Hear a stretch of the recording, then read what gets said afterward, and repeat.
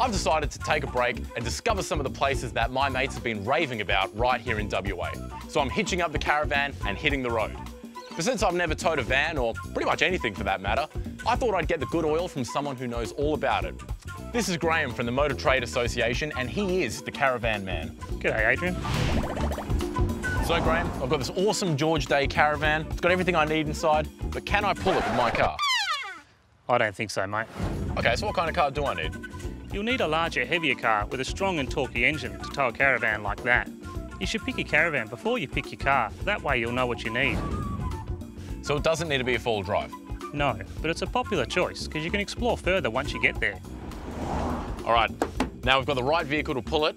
Can I just chuck my stuff in and off we go? How do I know the car's load limit?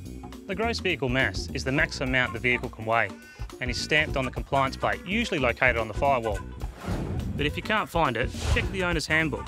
The owner's handbook will also provide information on the tow capacity, the tow ball mass and gross combined mass. It's a good idea to run your rig over a weighbridge and make sure you are under the manufacturer's maximum load limits on both the car and the caravan. Be mindful not to take too much stuff with you. And make sure you load the heavier items as low as possible and over the axles, then moving forward, before storing lighter items at the rear and in overhead cupboards. Incorrect loading can cause the caravan to become unstable. Graham, if I'm driving, can my mates ride in the van? Absolutely not.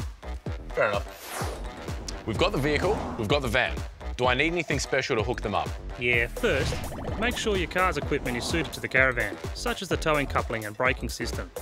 The car will need to be fitted with an electric brake controller to operate the caravan's electric brakes, and the electrical connections must be suitable to operate the lighting and charging systems. Cross the chains and secure the breakaway to the car's tow bar and lock the pin and latch. So my stuff's all safely stowed away, we're all hooked up. Can we get this bad boy on the road now? I recommend checking a few things first. Okay. Check the vehicle's under bonnet levels, inspect all the tyres for condition and pressure, check all wheel nuts for correct tension, check the stabiliser legs are raised and secured, check all lights and brakes, turn off the gas bottles and remove any external power and water. Check the fridge is on 12 volts and locked. Check the roof mounted vents, antenna and windows are secure. Check the awning and door is locked and disengage the handbrake and reverse latch. And now it's time to hit the road. Graham? Wrong car, mate. Yeah, right.